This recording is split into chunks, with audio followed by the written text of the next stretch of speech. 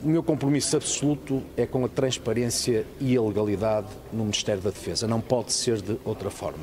E no que de mim dependa, cada passo tem que ver também com essa necessidade de mostrar que todos os dias no Ministério da Defesa trabalham pessoas extraordinárias.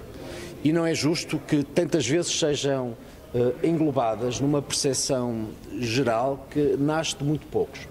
E esta inspeção tem que ver com isso. Ou seja, de facto, eu tenho indícios de que desde 2015, note que a data 2015 não é capricho.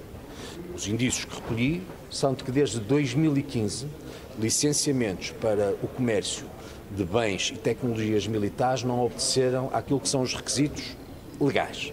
E quando assim é, até para que a minha decisão assente numa base jurídica sólida, eh, uma inspeção é determinante. E por isso eu pedi essa inspeção, que avaliará todos os licenciamentos concedidos desde o ano 2015 e, tendo em conta o relatório que venha a ser produzido, que me trará uma base jurídica sólida, tomarei as decisões que, tenho, que terei de tomar, mas sempre neste pressuposto. A, a transparência e o cumprimento da legalidade no Ministério da Defesa têm que ser uh, absolutos naquilo que dependa da tutela e é essa a principal razão do que, enfim, da inspeção que acabei por, uh, por solicitar.